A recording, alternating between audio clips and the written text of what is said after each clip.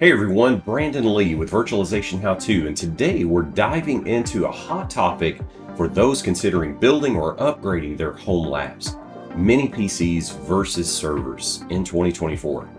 Whether you're setting up a new home lab or you just love technology and geeking out, you'll want to stay tuned for this comparison. So let's dive right in.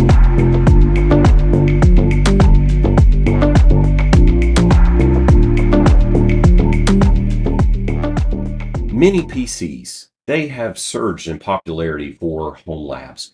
With new powerful hardware options, relatively low noise, heat, and small footprint, they make an attractive option for running your home lab virtualization and containerization environments. Modern mini PC hardware is perfect for running VMs and containers without the high energy costs of an enterprise grade server.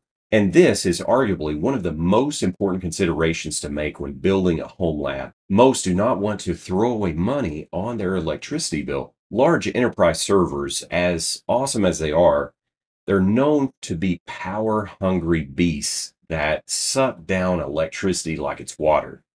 In contrast, many of the mini PCs are configured with power efficient laptop family processors from either Intel or AMD and it means that even under full load, you may see only a maximum power draw of maybe 50 plus watts, whereas some enterprise servers might pull 2 to 300 or even higher power draws. Imagine that running 24 by 7 by 365. Even my power efficient aged Xeon D processors in my Supermicro servers I currently have in the rack draw around 80 to 90 watts of power running 10 to 12 VMs. And that was fairly respectable a few years ago. However, now even that is something that I would very much like to reduce. In my testing with the Minis Forum MS-01, which I think may be the ultimate home lab server, at least at this point in 2024 currently, I was able to run 41 virtual machines at around 44 watts. Now, that was with the virtual machines basically idling.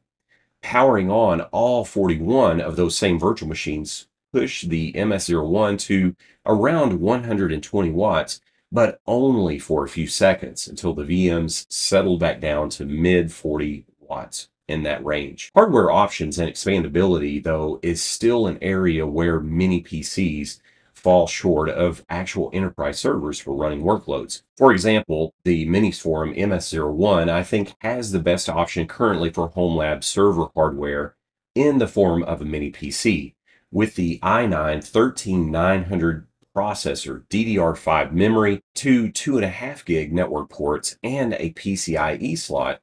This mini PC solves the issue of poor networking options and add on card configurations in a mini PC form factor that we have longed for for quite some time.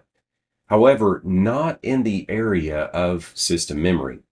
In my honest opinion, I think one of the biggest limitations with mini PC hardware is the maximum amount of system memory.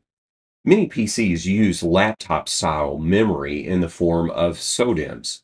Currently, the maximum amount of system memory you can install with DDR4 is 64 gigs of memory. And with DDR5, this has been increased to 96 gigs of memory since you can now purchase 48 gig DDR5 modules that are available. I'm still waiting on someone to outfit something like the form factor of the MS-01 with traditional DIMM slots so that we aren't bound by this limitation and potentially have the capability for ECC memory as well. When running virtual machines and containers, memory is king. It's that way not only in the home lab, but also in enterprise environments.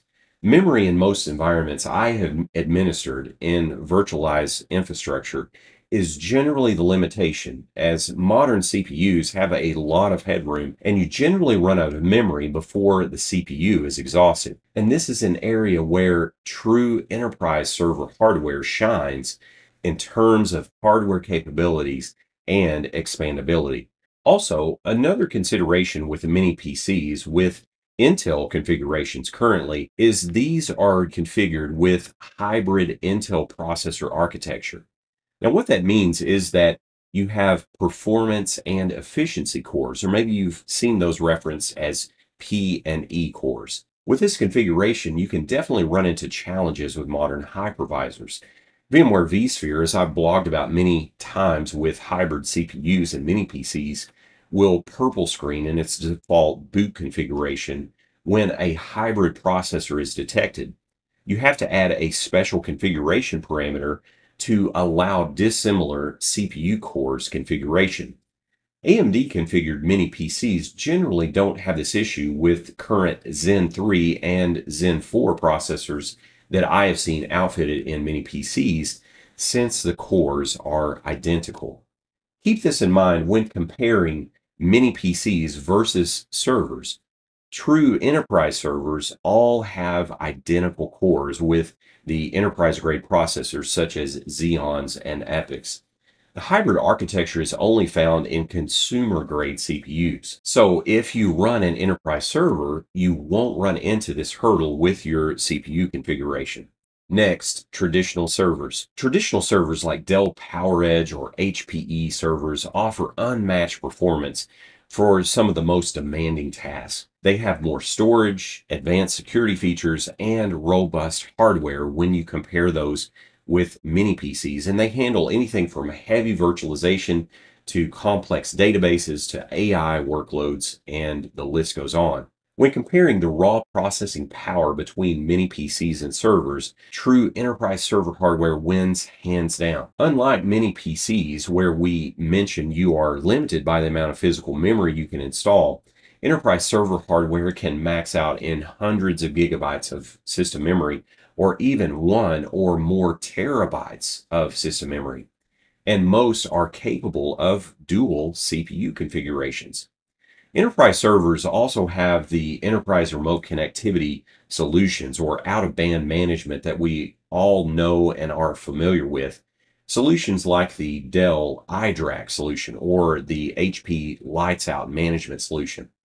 Another advantage of enterprise servers is that you can find enterprise server hardware on the secondhand market for super cheap. For instance, if you check out a website called LabGopher, where you can find older generation Dell or HPE servers for dirt cheap, many of which have dual processors, half a terabyte of system memory, and even with storage configured. So, ironically, a lot of times you may spend less on a true enterprise server configuration from these second-hand websites than you would spend on something like a current mini PC, such as the Minis Forum MS-01. However, this is a double-edged sword, and this is where you need to perform a cost consideration over time. Enterprise servers often cost 10 times as much to run as a mini PC in terms of electric power draw. So while you're only paying maybe two to three hundred dollars on a secondhand server, it might cost as much as fifty or even one hundred dollars a month in electricity just to run that server. So you will quickly make up for those cost savings on the front end over time. Also, due to the form factor of enterprise servers, you will likely need a true server rack to house those in a rack mount configuration. Many PCs, you don't have this as a limitation, and most likely they are small enough that you can fit those underneath the desk, on top of a desk, or a corner space that you have either in your home office or another room. Well, let's sum up the comparison between mini PCs and enterprise servers. Mini PCs are cost effective and energy efficient. They are great for most home lab virtualization and containerization tasks and even cluster based setups.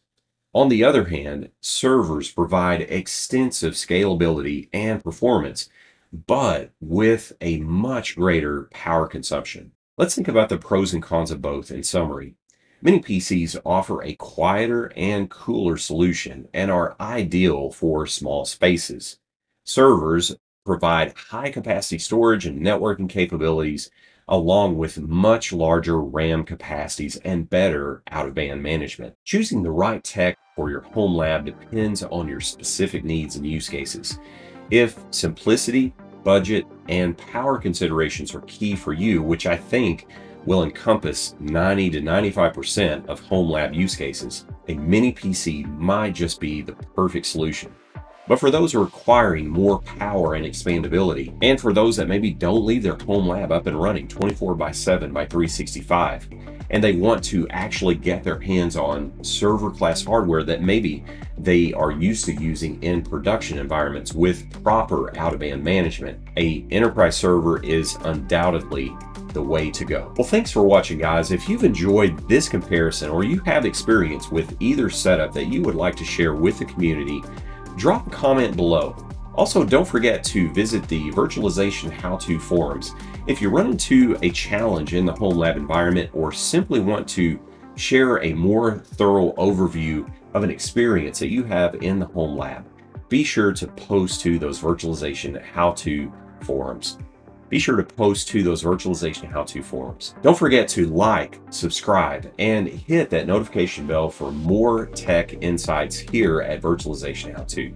I'm Brandon Lee. Stay safe out there, guys. Keep on home labbing, and I will catch you in the next video.